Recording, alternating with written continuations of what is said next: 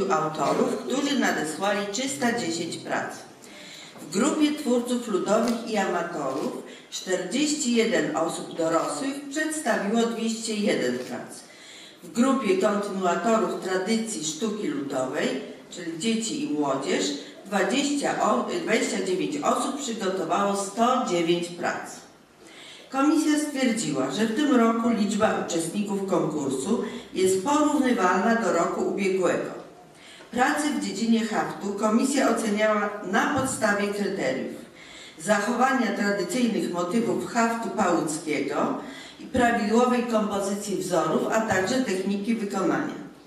W roku bieżącym przedstawione zostały zarówno hafty użytkowe, serwety, obrusy, jak też haftowane części stroju pałuckiego, czepce, kryzy, koszule, halki i fartuchy. Haftowane elementy stroju nawiązują do tradycyjnych motywów i wzorów pałuckich. W konkursie w dziedzinie haftu znaczącą grupę stanowią hafciarki z ośrodka wągrowieckiego działającego przy Muzeum Regionalnym w Wągrowcu. Instruktorem jest tu hafciarka Krystyna Ługiewicz. W dziedzinie rzeźby komisja zauważyła brak nowych twórców. Jury stwierdza, że w rzeźbie tradycyjnej o tematyce sakralnej i ludowej pojawiły się rekwizyty obrzędowe. Jest to powrót do tradycji związanej z kolędowaniem. Zdaniem komisji nadzwyczaj pozytywnym zjawiskiem jest przekazywanie wiedzy i umiejętności związanych z rzeźbą pałucką przez starych mistrzów młodemu pokoleniu. W dziedzinie zdobnictwa komisja stwierdziła bardzo wysoki poziom wykonywanych prac. Na szczególną uwagę zasługują pająki charakteryzujące się bogactwem kolorów i precyzją wykonania. Przedstawione prace w dziedzinie zdobnictwa, pająki, kwiaty, rózgi oraz wianki nawiązują do tradycyjnych, autentycznych form pałuckich. Jury ucieszyła informacja, że duże instytucje z PAUK, również z województwa wielkopolskiego, włączyły się w promowanie sztuki ludowej PAUK, przeznaczając fundusze na nagrody dla uczestników konkursu. Mam przed sobą, niektórzy mogą to mieć. To jest książka, która opisuje wszystko, co dotyczy właśnie sztuki ludowej Pałuk, od samej genezy, od momentu, od warunków, w jakich została, zostały te konkursy powołane. I ona niestety nie kończy się na roku bieżącym, tylko kończy się na roku wcześniejszym. I chciałam Państwu zaproponować dzisiaj, ponieważ już mamy w tej chwili nie tylko tworzących, ale mamy takich, którzy je wspierają, pan- panowie z pierwszego rzędu. Jestem z wielkim wzruszeniem o tym. Myślę, że, że widzicie potrzebę, żeby wspierać taką inicjatywę, która od wielu lat już tutaj jest i która bez, bez tej pomocy nie mogłaby istnieć. I mam propozycję taką, żeby tę książkę wznowić. To jest wyda, wydana została, zaraz powiem co w niej jest, pokażę co w niej jest. Chętnie bym, chętnie bym nawet tutaj bo coś tych kartek masz za dużo, to jest wyjątkowe. O. Proszę Państwa, tu jest wszystko. Tu jest wszystko, co jest związane z, ze sztuką ludową Pałki, z kolejnymi konkursami. Y, To, tutaj się kończy, popatrz na, na, który, na którym roku kończymy. 2007. Kończy się na 2007 roku. Jest omówionych 188 osób.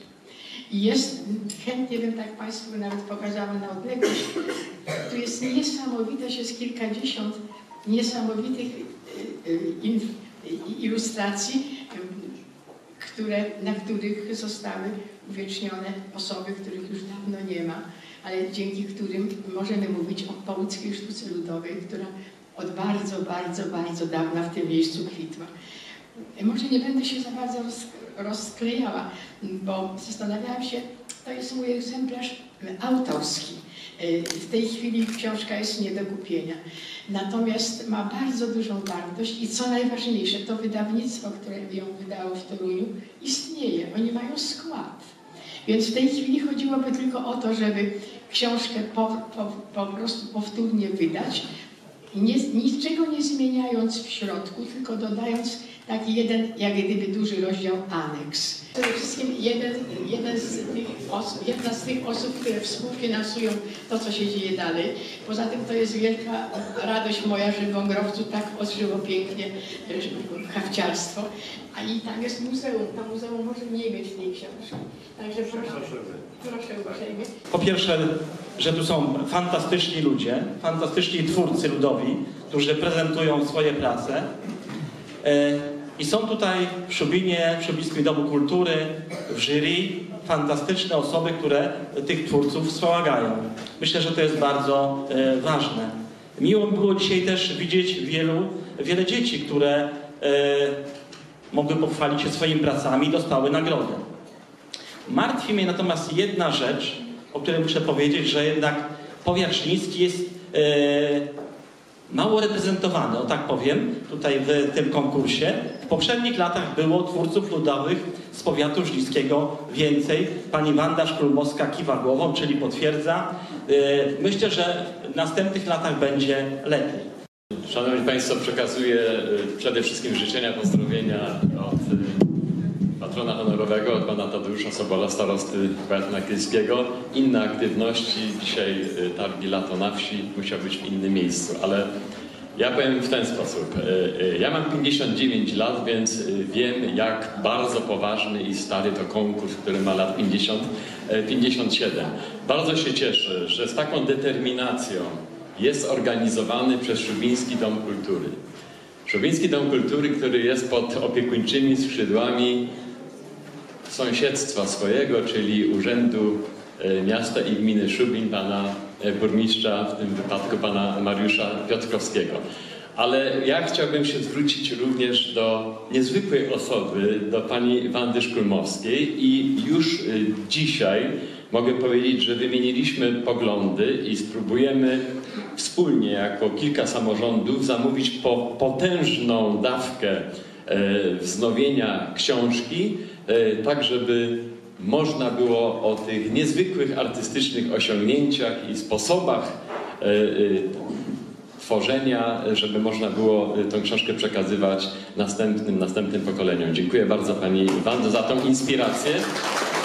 Dzisiaj przeżyłem tu ogromną radość, otrzymując słowa uznania i skromne podarki za wkład w upowszechnianie tej cudownej sztuki ludowej PAUK.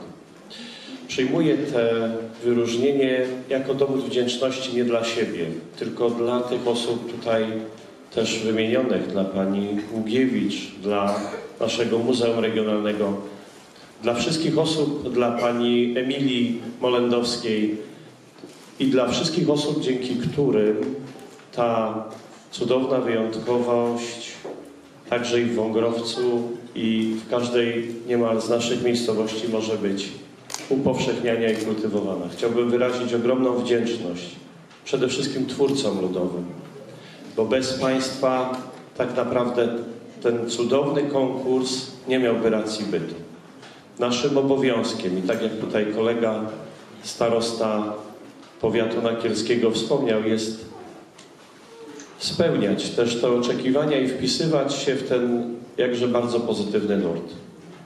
Przesądziliśmy, że publikacja będzie wydana, że każdy z nas z radością potraktuje to jako wspaniały materiał promocyjny. Materiał, na którym na trwałe zostaną zapisane nazwiska tych, którym naprawdę winniśmy ogromne uznanie. Państwo pozwólcie, że nie będę wymieniał tutaj e, Was z nazwiska, ponieważ grono przybyłych dzisiaj do Domu Kultury jest zacne. Rzeczywiście właśnie przed tutaj tym wydarzeniem rozmawialiśmy między innymi o karcie. Rzeczywiście nie mam etui do karty. W związku z tym zaraz po zakończeniu moja karta wyląduje w bezpiecznym miejscu właśnie w otoczeniu e, gminy Wągrowiec z haftem. Szanowni Państwo, mi jako gospodarzowi tego miejsca nie wypada nic innego, jak tylko serdecznie Wam wszystkim podziękować. Dziękuję specjalnie Pani Wandzie. Ja pamiętam, jak kilka lat temu w tym miejscu też rozmawialiśmy, też martwiliśmy się, co będzie ze sztuką ludową, z naszym konkursem, jak będziemy dalej funkcjonować. Wszystko mija, wszystko się zmienia, a konkurs sztuki ludowej w Szubinie jest i będzie. I tak już musi być.